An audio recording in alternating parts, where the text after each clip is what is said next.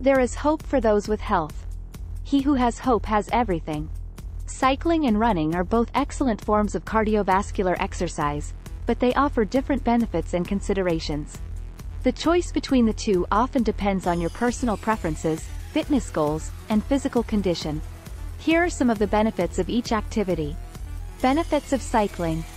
Low impact. Cycling is a non-weight-bearing exercise, which means it's gentle on your joints. This makes it an excellent choice for people with joint issues or those recovering from injuries, as it places minimal stress on the knees, hips, and ankles. Aerobic conditioning. Cycling is an efficient way to improve cardiovascular fitness. It elevates your heart rate and increases lung capacity, leading to enhanced endurance and better overall heart health. Muscle engagement. Cycling primarily engages the lower body muscles, including the quadriceps, hamstrings, and calf muscles. When you're cycling uphill or maintaining proper posture, you also engage your core muscles. This can help with toning and strengthening these muscle groups. Versatility. Whether you prefer road cycling, mountain biking, or indoor stationary cycling, there are various ways to enjoy cycling. This versatility allows you to tailor your workouts to your preferences and fitness goals. Reduced perceived effort.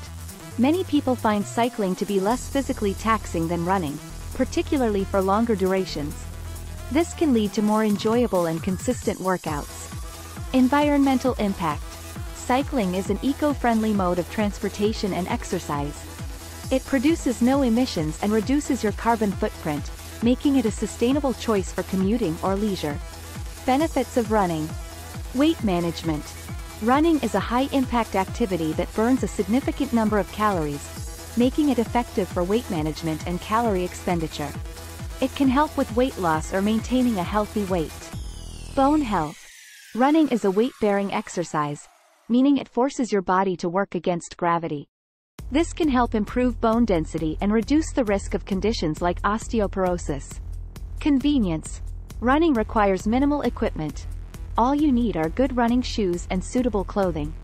You can run almost anywhere, whether it's on roads, trails, or a treadmill, making it a convenient exercise option. Mental health. Many runners report that running provides mental health benefits, such as stress reduction, improved mood, and increased feelings of well-being. It can serve as a form of meditation and relaxation. High intensity. Running can be a high-intensity workout, especially when done at a fast pace or on challenging terrain. High-intensity exercise can lead to rapid improvements in cardiovascular fitness and calorie burning. Variety. Just like cycling, running offers variety. You can choose between different terrains, such as road running, trail running, or even sprinting on a track. This variety can help keep your workouts interesting and challenging. Ultimately, the choice between cycling and running depends on your individual goals, preferences, and physical condition. Some people prefer one over the other, while others enjoy both and incorporate them into a balanced fitness routine.